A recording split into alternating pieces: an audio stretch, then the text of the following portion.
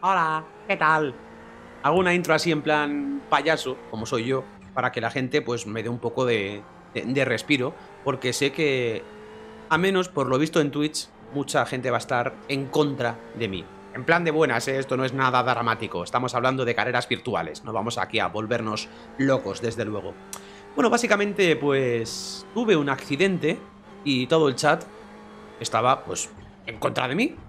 No, no, no, no, compartía mi opinión. Y alguno estará, alguno estará diciendo por, por YouTube ahora, eh, que, que os estoy viendo. Eh, co- con, el teclado os estoy viendo. Heidi, no le des al botón, es que igual cambio algo. Perfecto, está grabando esto. Heidi, nunca admites que es tu culpa un accidente, aunque todo el chat te diga que lo es. Puede ser que alguna vez ocurra eso. No digo que no. Pero esto es todo lo contrario. Irónicamente, es todo lo contrario.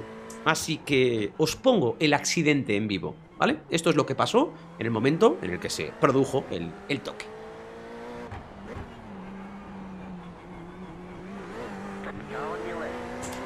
Te lo he hecho, amigo. ¿Vas a aguantar? Gracias, tío. Muchas gracias. Gracias. Thank you. Thank you very much. Y a pesar del cabreo inicial típico del calentón, yo en mitad de carrera, porque pude seguir con el coche un poco igual tocado, pero pude seguir, yo ya empecé a, cavilar y, y- ya creía que ahí no había sido tan obvio como me pareció en ese momento. En plan de, ¿qué has hecho? Creo que también el otro Ferrari que había es el que con el que me he tocado, creo. Pero hay que verlo, ¿eh? que igual, igual me he abierto yo más, ¿eh? De lo que debería. Igual eh, he supuesto erróneamente que él iba a, a ceder después de lo que le había hecho, pero veo que no. Y viendo cómo estaba defendiendo, igual nunca tenía que haber supuesto eso. eso está claro. Porque lo dicho, yo ya veía que ahí igual mm, no era tan obvio. Acabó la prueba, un resultado que no es desde luego para recordar, y por supuesto fuimos directamente a ver qué es lo que había ocurrido. Aquí le he hecho eso, estaba defendiéndose en todas, eh, trazando horrible. Y aquí ya le he pasado, ¿vale? Lo tenía hecho, pero creo que me ha abierto demasiado. He supuesto que él no iba a intentar aguantar. A ver. Es mi culpa, es mi culpa al 100%, vamos. Luego la, reacción ha sido lamentable, pero... Pero es mi culpa al 100%, sí, sí. He hecho más de lo que pensaba. Eh, tiempo muerto, tiempo muerto, time out. No quiero que este vídeo, bueno, mi intención no es con este vídeo, mejor dicho, porque cada uno puede hablar de lo que quiera, faltaría más. Incluso de, de la migración de los pavos reales en... No se me ocurre en ningún sitio. Allí, ¿vale? Que se convierta esto en... Es que la colisión es exagerada. Vale, lo es, por supuesto, estamos todos de acuerdo que la reacción no tiene sentido. Pero eso es algo que se puede esperar con temas de conexiones de una parte del mundo a otra, con temas de hitboxes y demás, salvo que sea Red Room donde los coches cuando se pegan, eh, se repelen un poco y siguen como si nada, pues hombre, si las colisiones son un poco serias, pues online especialmente, pues pueden suceder estas cosas donde se exagera un poco lo que, un poco bastante en este caso lo que ocurrió. Pero no quiero que los tiros vayan por ahí, sino en esto que comentamos ahora. Como luego la VRS. A ver, os explico. Entiendo que la gente que piense que igual no es mi culpa es por, por lo que yo siempre eh, ataco, entre comillas, que es lo de eh, tienes la posición perdida o por qué aguantas el espacio. Yo tengo todo el derecho del mundo a aguantar un paralelo, todo el derecho del mundo, aunque la posición la vaya a perder. Puede que a veces no tenga sentido, pero yo no tengo que suponer que el que está por fuera, aunque tenga la posición prácticamente perdida, va a levantar. Si levanta, genial, pero si no, yo no puedo suponer que lo va a hacer. Aquí, evidentemente, Gabriel iba a estar detrás de mí, sí o sí. Era imposible, tenía la posición perdidísima, pero él no tiene por qué levantar. Y no lo ha hecho. Aquí en este punto dices, ya, ¿para qué vas a aguantar el paralelo? No tiene ningún sentido. Levanta un poco el pie, te pones detrás y ya está. Pero yo no tengo que suponer que lo va a hacer. Y lo he supuesto, me ha abierto demasiado y nos hemos eh, rozado un poco. Para mí es mucho más mi culpa que la suya. Él también sí tenía más espacio, pero yo también lo tenía. Sí, tenía, sí, pero bueno, que lo sigo viendo igual. Para mí es mi culpa, vamos, esto.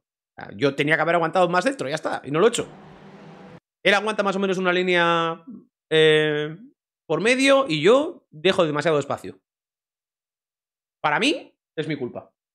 Yo no tengo ningún problema, ninguno, en admitir cuando creo yo que es mi culpa. Igual que cuando me lo hacen al revés, hubiera dicho exactamente lo mismo. Si esto me lo hacen al revés, hubiera dicho lo mismo. Digo, ¿para qué cojones te abres si sigo en paralelo? Como me ha pasado millones de veces. Ahora, hay mucha gente que, que lo ve eso, ¿no? Con el tema de la posición perdida. Pero es que eh, lo de la posición perdida, para mí, eh, eso es algo que no se puede medir. No es un 2 más 2 es 4. El paralelo sí que se puede medir. Porque o estás en paralelo o no estás en paralelo. No hay término medio. O estás o no estás. Pero la posición perdida y posición no perdida, eso no es 2 más 2 es 4. Por eso digo que para mí hay que respetar esto. Porque esto es lo único que es 100% objetivo. ¿Estás o no estás en paralelo? Pero la posición perdida no perdida, ¿cuándo pierde la posición él? ¿Cuándo la pierde? ¿Aquí? ¿Ya la tiene perdida? ¿O no? Igual, igual aquí la tiene perdida ya. ¿O no? Igual aquí la tiene perdida. ¿Y aquí? ¿La tiene? Claro, ese es el tema. ¿Quién dice que tiene la posición perdida o no? ¿Y cómo lo controlas eso en mitad de una carrera? Más allá de que en el reglamento de iRacing ponga tal o cual, que no lo pone, pero imagínate que pone, eh, un piloto debe suponer que tiene la posición perdida cuando tiene la rueda delantera en perpendicular a la luna y lo que tú quieras. Vale, pero eso cómo lo vas a medir de esta forma en carrera? No puedes. Lo único que puedes medir es si tienes o no tienes un coche en paralelo. Y ya está. Ahora, por lo que veo por el chat, debo, ser el único que piensa que es mi culpa. Pero para mí lo es. Para mí es un fallo mío que lo podía haber evitado muy fácil. Porque el adelantamiento lo hubiera hecho igual.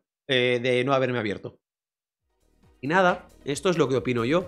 Imagino que muchos no estaréis de acuerdo conmigo, pero bueno, pues quería compartirlo y usarlo un poco de ejemplo de por qué creo que deberíamos hacer todos mucho más para intentar evitar situaciones de riesgo de forma innecesaria. Porque aquí el adelantamiento yo lo tenía ya hecho y no tenía que haber supuesto que el otro tenía que levantar porque, porque sí, por mi cara bonita. Porque si es por mi cara bonita, vamos, no levanta, no levanta ni el tato, ni el tato. En fin, muchas gracias a todos y sin más, pues eso.